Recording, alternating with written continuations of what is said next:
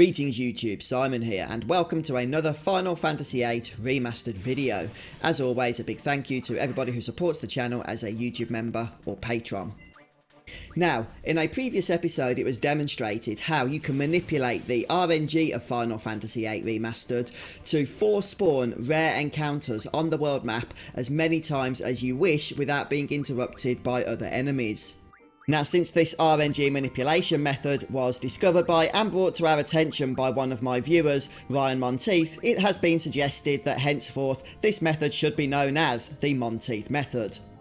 In a nutshell, the way this method works is that once you encounter a rare enemy on the world map, if you escape from that encounter and save your game, once you have quit to the main menu and reloaded your game, the next enemy you encounter in the same place will indeed be the same rare enemy, and you can repeat that process infinitely until you farm that rare enemy as much as you would like to. Now, at the time, it was assumed by me and perhaps many others that this would be a great method for mugging enemies, but not actually for killing them, since it was assumed that by killing them, the enemy would not respawn. However, I have done some further testing, and that's bad news for T-Rexaur since he's less of a dinosaur and more of a guinea pig for this particular video. But I have since come to the following conclusions, which in my view make this method of RNG manipulation, the Monteith method, even more impressive than it was before. In fact, my conclusion is that there is simply nothing you can do to the rare enemy that spawns that, if you're using the RNG manipulation method, will actually prevent it from spawning repeatedly as many times as you need until you've got all the items that you require from it. You can draw magic from the enemy, move that magic over to another party member from the field menu, and then reset the spawn in order to draw again. Then you can go ahead and kill the enemy. You do not have to kill the enemy, you can escape from battle, you can damage the enemy, and then card it. You can kill the enemy with using magics, physical attacks, limit breaks, anything you choose to do, however you end the battle, you can actually then go ahead and respawn the encounter by saving your game, quitting to the main menu, and reloading. As you can probably imagine, the Monteith method leads us to many usable applications, and I'll be interested to hear how you might use this method in the comment section.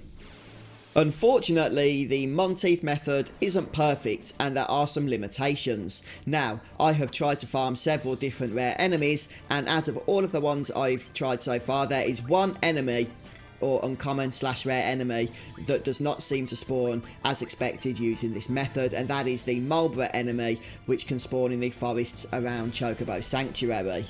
My own suspicions about this particular enemy is that its spawn pattern is not actually the entire forest. As a matter of fact, I believe it exists in small blocks, which means that there are certain footsteps that you can take in that forest where that enemy cannot spawn. Now, that means that it's not going to be consistent with this method, probably because those barriers aren't exactly visible to the player as to exactly which parts of the forest it spawns in. But if you can find out for sure where it spawns and just literally run on that same spot, then maybe you could get this method to work for that enemy, but I wasn't able to do so. And the other issue I have experienced is that I've not been able to get this to work consistently in uh, areas other than the world map. So dungeon areas, inside areas, just general field areas where enemies spawn.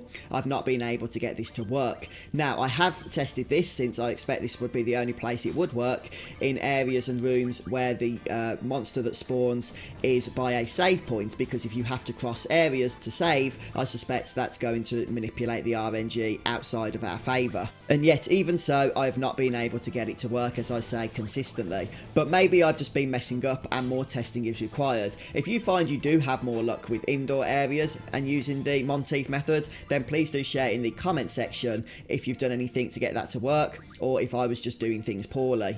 But overall, I think this is simply a fantastic means of being able to attain hard to come by items that would otherwise be difficult because the enemies you steal or get drops from do not spawn regularly. I mean, some enemies in this game are very, very rare spawns, so this is going to come in really handy in those cases. But as I say, please do share in the comment section if you have any ideas or applications that this method will be useful for. I'm sure that will help many a player out. Thank you for your time today. I hope you enjoyed the video and I'll see you next time. Goodbye.